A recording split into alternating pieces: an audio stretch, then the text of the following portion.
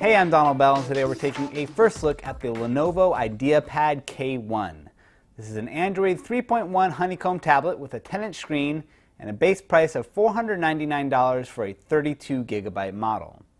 There's also three color variations, white, black, and this red one here.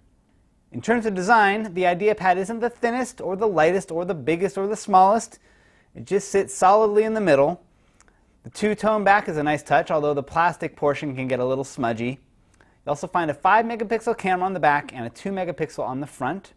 You also notice that there's a home button on the front, which is somewhat odd considering that Honeycomb keeps all of its navigation controls on the screen. One cool thing about the button though is that if you swipe down on it, you can use it like a back key for quickly backing out of menus. Other features here include an HDMI out, headphone out, and a dock connection for charging. On the side here you get a physical lock for screen orientation, volume keys, power button, microphone, and a door here for a micro SD memory card. Now what makes this tablet slightly different from the rest is the amount of pre-installed apps and Lenovo's Android customizations.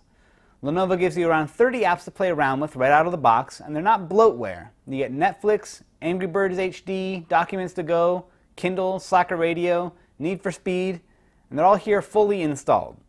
You'll also notice this unique launch pad right here on the home screen.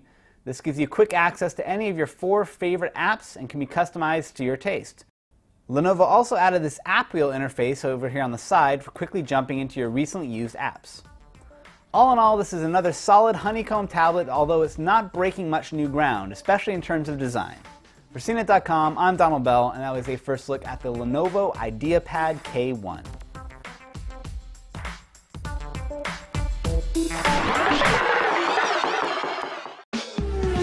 Hey folks, Brian Cooley from CNET.com. Now when we check the performance of a piece of tech, we check the performance of a piece of tech. If you love videos of cars and all their high-tech and high-performance glory, check out the CNET Car Tech video podcast, cnet.com slash CarTechTV.